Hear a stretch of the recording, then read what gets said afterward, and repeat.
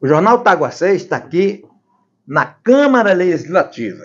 E agora, nesse instante, estou aqui no gabinete de Mar Marcial. Nós vamos bater um papo aqui falando do seu mandato durante o segundo ano já, né? É, tá nós já estamos findando, hoje é dia 24 de outubro, e a gente quer perguntar, Marcos, você teve uma grande luta, muito trabalho, as lutas suas foram muito é, valiosas para o pessoal mais humilde, que foi na questão do transporte público, e todas as áreas social, você foi aquele cara atuante. Como que você faz uma avaliação do seu mandato este ano, do, que, do seu trabalho que você desenvolveu? É, maravilha. Primeiro dizer, tá? Satisfação de estar com vocês novamente, a todo mundo que acompanha o Jornal Taguaceia aí. Sempre bem-vindo aqui à nossa casa, nosso mandato, estamos aí nas lutas. Isso é importante para vocês aí fazerem o papel que a empresa tem feito de fiscalizar a gente, cobrar também. Bem, esse segundo ano foi um ano muito, muito também de muito trabalho. Está sendo um ano de muito trabalho, ainda falta aí um mês e meio ainda antes do recesso parlamentar. A gente fez aquela disputa para sair, né, a CPI da saúde que está travada, né, está lá entre as listas de CPI, mas a gente fez o debate, ainda, ainda, a gente ainda luta e acredita que a CPI é necessária.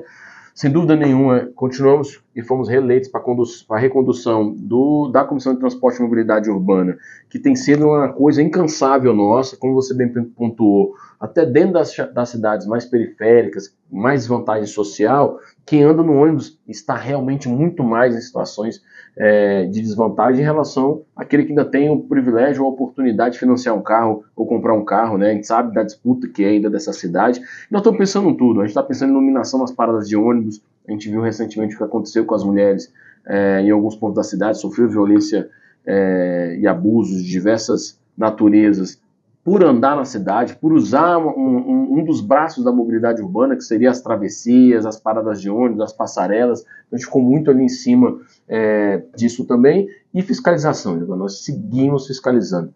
Esse ano nós fiscalizamos muitas obras, né? fiscalizamos novamente o metrô. Esse ano ainda vai ter aqui uma reunião técnica sobre a modernização do metrô. A gente quer ouvir do, da gestão do metrô DF tudo que estão pensando para a modernização e o que está travando. Então isso é importante um trabalho árduo que nós temos feito aqui.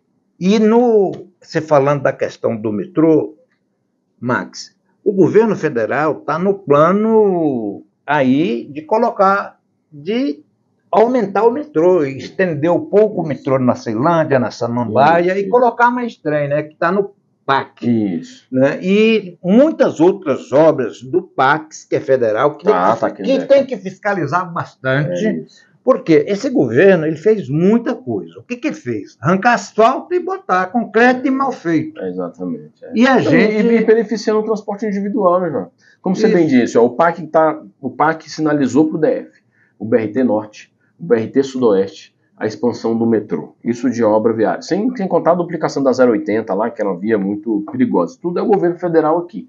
Mas UPAS. O, UPAS, é, o governo do DF também, IFB, né? Só Nascente e Sobradinho. Então o governo federal está muito presente no Distrito Federal.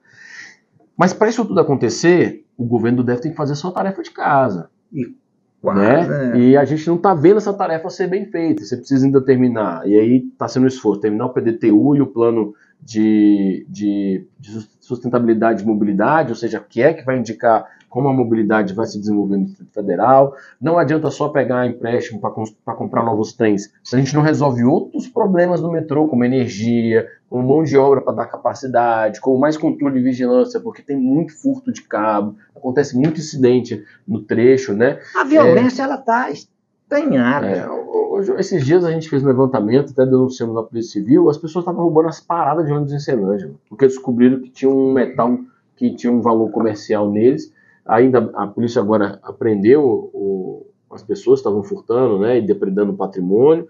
Estamos trocando paradas de concreto, foi um pedido nosso, a Secretaria de Mobilidade só tinha as paradas de concreto também, né? A gente sabe que essas paradas, apesar de parecer mais fortes e mais resistentes, elas não são 100% seguras, porque ela tem um, a tampa visão, né? Você não sabe quem está vindo ali por trás, né? sobretudo as mulheres. Então, a de vidro, apesar da insegurança, é porque ninguém deveria ficar muito tempo na parada, sabe? Eu acho que o, o conselho de mobilidade é essa. A parada é aquele ponto que eu desci, vou para casa, ou eu chego, o ônibus já chega. Por isso que a gente está defendendo o centro de controle operacional, onde a pessoa consegue monitorar em tempo real onde o ônibus está, para chegar a tempo na parada. Você fala muito na questão do transporte público, estuda muito, trabalha muito. Por que, que nós não forçamos mais a barra? Porque tem condições de nós colocarmos aqui o tarifa zero, é. colocar mais ônibus, porque se igual hoje se você pegar o carro para ir para qualquer lugar no Distrito Federal, está engarrafado. Por quê? Ninguém quer pegar um ônibus porque é mal, o ônibus é velho, é mal servido, não cumpre horários. E essas coisas, Max, se o, o, o horário gratuito vir com a fiscalização rigorosa, como vocês fiscalizam, muita gente vai deixar seu carro em casa e andar no ônibus. É um dos modelos que nós vamos ter que fazer, eu, eu não acho nem que precisa de mais ônibus, na verdade é redimensionar o que tem, é criar os corredores e fortalecer as circulações internas. Os corredores é necessário. Acabamos de fazer agora e foi fazer não, né? Tá lá há várias indicações e outras cidades a gente vai também sentar com a secretaria para propor os zebrinhas nos territórios. Nós precisamos fortalecer a, a, o circular nas cidades que levam para determinados terminais de baldeação, e lá você, esses corredores como a IPTG, como o próprio BRT Sul, o Norte, você tem ônibus o tempo todo, só fazendo esse cruzamento das pessoas que querem embarcar, a pessoa roda na cidade, para, ou ela vai no bolsão de estacionamento para seu carro e pega um ônibus que vem já para a rodoviária. O que acontece é que você pega um ônibus, ele passa 40 minutos rodando só até o setor, para depois sair, aí você passa uma hora e meia no transporte. E sobre tarifa zero, é possível. Mas nós temos que disputar o orçamento. Hoje custaria em torno de, de 4 a 5 É um projeto a longo né? prazo? Tem que ser a longo prazo. Isso tem que ser escalonado, né? Porque uhum. você tem uma demanda reprimida de pessoas que não usam o transporte porque ela tem uma tarifa. Tem gente que hoje não sai de casa porque a tarifa custa 11 reais, né? Se você for olhar aí de volta. Então a pessoa se limita. Todas as cidades que nós estamos estudando que implementou tarifa zero, teve um aumento de 30% a 40% do público. Ou seja, de pessoas que não viviam a cidade, de pessoas que se privavam. E aí tem de tudo, né? Tem aquela pessoa que pega uma parada e já desce na outra, tem aquela que vai ver a casa da irmã, mas tem aquelas pessoas que começam a viver o comércio, começam a querer estudar mais, a visitar monumentos que antigamente não podiam. Você tem que observar também da questão do transporte, Max, é a questão do empresário o empresário hoje, muitas das vezes, deixa de contratar uma pessoa porque mora longe e a passagem é cara e ele perde muito tempo, igual você falou, de vir de lá da, do local dele até o trabalho. E de sair do trabalho para voltar. Ele toma muito mais o tempo andando desses ônibus do que no trabalho. É, quase sempre, quase né? quatro e... horas do dia preso no transporte.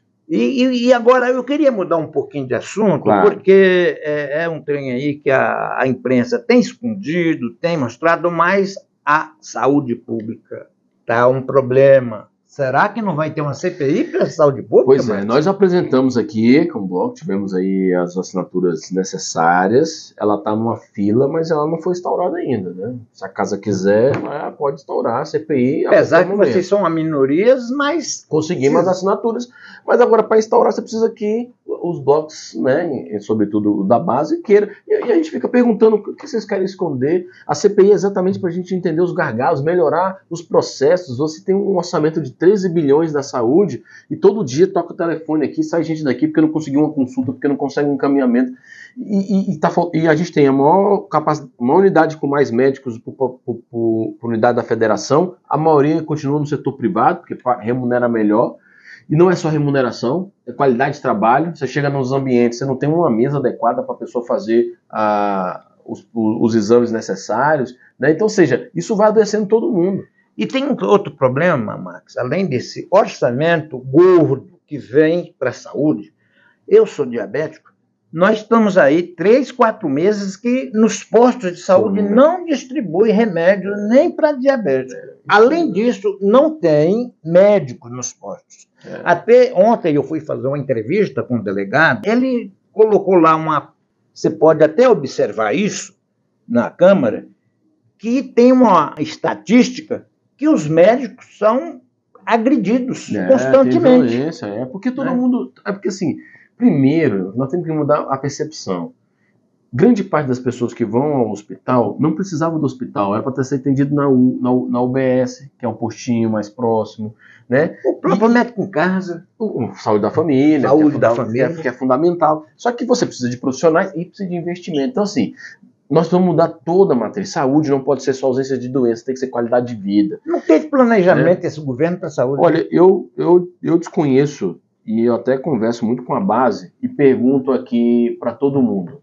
É, pergunta aqui para todo mundo: qual é o projeto do Ibanês? Se alguém me disser, eu, eu posso dialogar. Não tem nada, não tem para saúde, não tem para saúde, não tem para cultura, não tem, não tem projeto para a cidade. Sabe, cada um faz o que você quiser. Sabe, qual é a linha, qual é a cara? A gente não tem. Eu sei, não é puxar saquismo, não é questão de ser ladismo, mas eu quero te parabenizá-lo, tanto você, os três deputados do PT e o seu colega do PSOL, o trabalho que vocês têm desenvolvido, Maria do PSB também. a Lei Maria do PSB, porque vocês têm feito um trabalho de leões, matando um leão por dia. É porque vocês têm aqui. O cara já, o governo já faz um projeto dizendo, não, eu tenho 17 votos, já está aprovado. É, faz nem um debate. Não faz nem debate, não coloca nada. E outra coisa, atropela, passa por cima. E além de vocês, muito qualificados, faz um debate que ainda inibe os deputados da direita. Exatamente. Vota sabendo que está votando errado, é um voto que não ajuda a população nem a cidade, mas ele fica sabendo que fez errado. E agora sim, e tudo isso, e tanto vocês acompanhando ou também pelas nossas redes, a gente pode, eles podem até ter a maioria, mas nada nessa casa passa batida, a gente vai ficar ali em cima permanentemente. E a qualificação é. deles é sua. É. Marcos, Obrigado. O Jornal Taguacê agradece muito Valeu e demais. coloca à sua disposição claro. para tudo que aquilo que você tiver à disposição, nós colocar. E agradeço você, todas as vezes que a gente procura, você sempre está aí. Vim aqui, ela me pergunta. Você marcou? Falei, não, é um gabinete é aberto, eu venho. É, e seja sempre muito bem-vindo, viu, gente? Às vezes ali o que pode acontecer tem que esperar um pouquinho, porque a agenda acontece, mas a gente faz questão de atender todo mundo muito bem. Muito obrigado. Obrigado, meu querido. Um abraço, gente.